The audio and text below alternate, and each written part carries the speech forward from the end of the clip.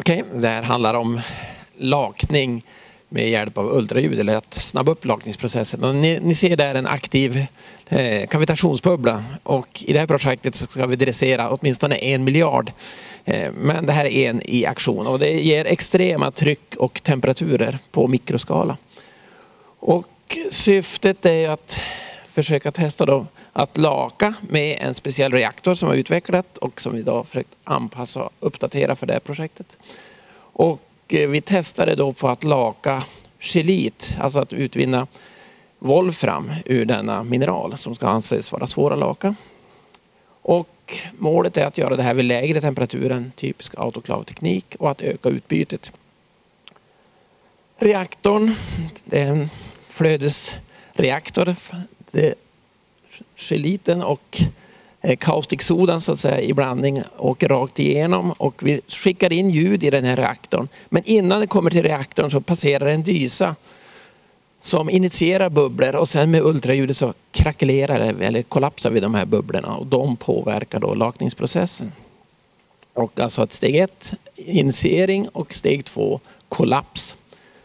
Och tittar vi på reaktorn så har vi försökt förbättra, jobba i högtryck. Vi försöker ha bättre processkontroll och vi har försökt öka temperaturen vilket har varit lite problematiskt faktiskt som har ödat mycket tid på. Systemet har inte varit riktigt stabilt. Tittar vi på resultaten så är det trots allt positiva resultat. Det funkar, det snabbar upp processen.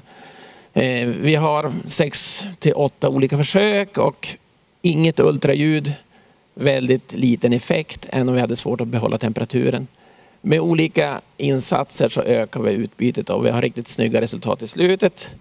Tänker man sig att man ska extrapolera det där skulle man kunna nå ett lakningsutbyte på säg 95 procent på 16 timmar. Men det är ju en teoretisk dröm kanske.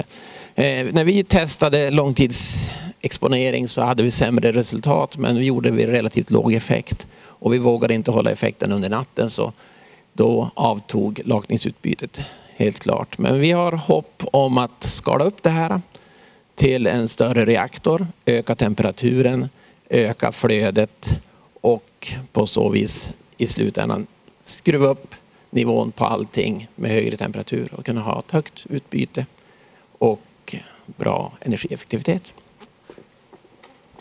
Tack Örjan. Eh, då är det dags för Marie